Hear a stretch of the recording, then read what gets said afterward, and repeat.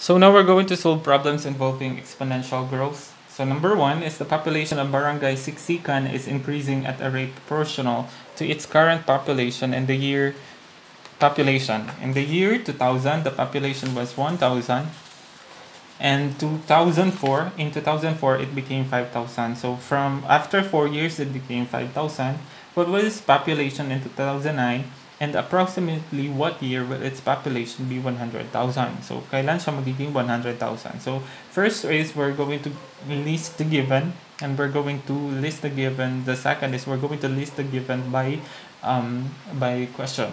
So, the first one, the given is in the year 2000, if the year 2000, the population is 1,000. So, the equation that we're going to use for e exponential growth is y is equal to y sub 0 e to the k t. k is the, the, the rate. It's a constant. So it's a constant. t is the time. So k is the time and it's a constant. t is a time. y sub 0 is the initial. The initial population or initial number. y is the the number after t time. So these are the given again. So anap ang una nating gagawin is y sub 0. So if the our first year, if the initial year is 2,000, ibig sabihin y sub 0 is 1,000 kasi the initial na number, ang pinakaunang number is 1,000. So after 4 years, so given after 4 years, so kasi 2,000, so after 2004, so after 4 years from 2,000, ang population y became 5,000. So y became 5,000. So in the first question, letter A, so, for letter A, it's what is its population. So ibig sabihin, ang hinahanap is y. So y is for the population or the number. And in the year 2009. So how many years it is it after 2000? So t is equal to 9. So letter B naman sa second question, in approximately what year will its population be 100 So, the population is 100,000. So, ibig sabihin, ang given is y. And ang hinahanap natin si t, which is si the, the number of years. So, next, um, so, ang una natin gagawin, kasi hindi given si k, so, hahanapin natin si k. It's either we're going to look for the value of e to the k or k. So, ang una natin gagawin dito is we're, we're going to have e to the k lang.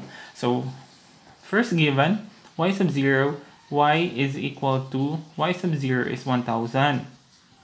So, 1000 e to the kt. So, based on this one, after 4 years daw, when t is equal to 4, y is equal to 5,000. So, si y, gawin natin 5,000 is equal to 1,000 e to the k times t, which is 4. Next is, we're going to look for k. So, ang gagawin natin dyan is divide both sides muna by 1,000.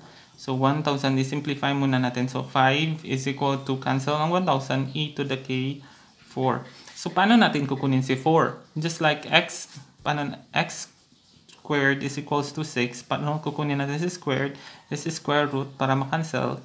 So, ang gagawin rin natin dito is fourth root of fourth root of e to the k4. Para makancel si 4, matira na lang si a to the e to the k is equal to 4th root of 5. So this is the first process that we're going to do. Hanapin natin si e to the k. So, ibig sabihin, the equation is y, diba, the equation from this one, we're going to change it to y is equal to 1000 e to the k is fourth root of 5 raised to the power of t.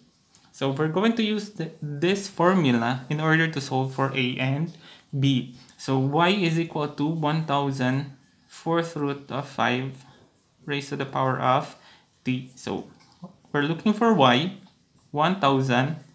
So fourth root of 5 raised to the power of 9. So actually, if this is like this, so ang mangyari niyan is 1000 so, if we say sabihin, 5, it's 9 over 4. So, 9 over 4.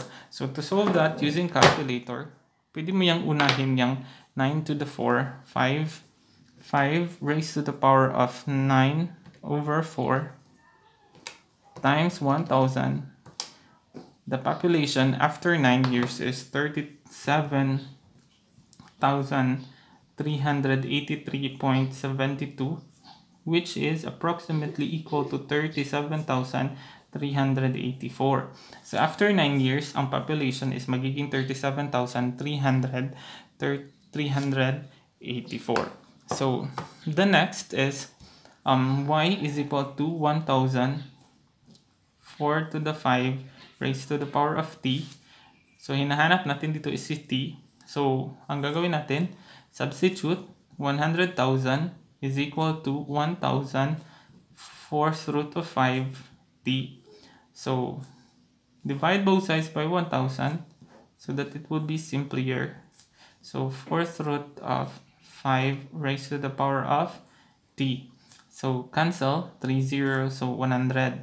So paano natin ito masasolve? So if you if you know this already, so uh, ito siya equals to t over 4. 1,100.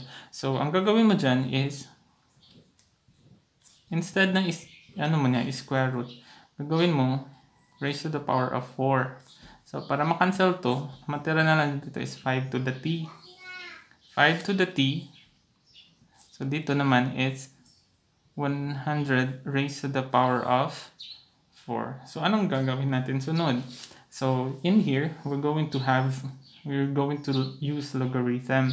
So, logarithm, so, t is equal to log of 100 raised to the power of 4 to the base 5 which is equal to log of 100 raised to the power of 4 to the log over log of 5 so that's the answer. T is equal to uh, I did not solve this one so that it would be easier. So log of 100 raised to the power of 4 divided by log 5 which is equal to 11.45 so after after 11.45 years the population would become 100,000 so next for number 2 for number 2 certain bacteria cells are being observed in an experiment the population doubles in an hour if the at the end of the four hours, the population is 36,000. How many bacteria cells were originally present, and after how many hours approximately will the number of cells reach 1 million? So the first thing we need to do is to understand really the problem, and then we're going to get the given. The first given is after at the end of four hours, y is equal to 36,000. So we're going to use still the same formula. So y is equal to y sub 0 e to the kt.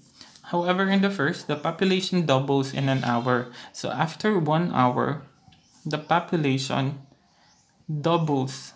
The population doubles. So naging 2y 0. So if the original is y sub 0, so after isang 1 hour lang, naging dalawa ng y0 because it doubles. So, ibig sabihin 2y0. So, the first question is, um, how many bacteria were originally present? So, we're looking for y sub 0. And the second question is, after how many hours approximately will the number, so ang hinahanap is t because it's after after how many hours given ang population is 1 million. So first, so substitute in the formula. So first is hanapin natin is C, CK or CE to the K. So ang gagawin natin dyan it's we're going to use use this one. So after one hour, C C after one hour, si Y naging 2Y sub 0 kasi it doubles. So originally, E to the K times 1. So which is equal to, sorry, divide both sides by y sub 0. So cancel na yan siya. So, cancel na to siya. 2 is equal to e to the k. So, e to the k is equal to 2. So, that's easy. So, next is, given this, we're going to solve now for y sub 0. So, after, at the end of 4 hours, kasi t is equals to 4, kapag t is equals to 4, y is equals to 36,000. So, because we know already e to the k, so y is y is 36,000. y sub 0, yan ang hinahanap natin. E to the k is 2 raised to the power of 4. So, divide both sides by 2 to the 4. 2 to the 4. y sub 0 is equal to 36,000 divided by 2 to the 4 is equal to 2,250. Next, if y is equal to 1 million, so y is 0, e, k, t. So y is 1 million. y sub 0 is 2,250. e to the k is 2 raised to the power of t. Hinanap natin si t. So first is divide both sides by 2,250. 2,250. So cancel. 2 to the t is equal to, let's try, 1 million divided by 2250. It's 4,000 over 9. So 4,000 over 9. So we're going to use this so that it would be not very far from the original answer. Kasi it's usually estimated. Kung gawin natin itong decimal, so medyo lalayo siya. So next is, um, just like what we have done in the first example, we're going to use logarithm. So t is equal to log of this one, 4,000 over 9 divided by log 2. So t now is equal to so 4,000 divided by 9 muna.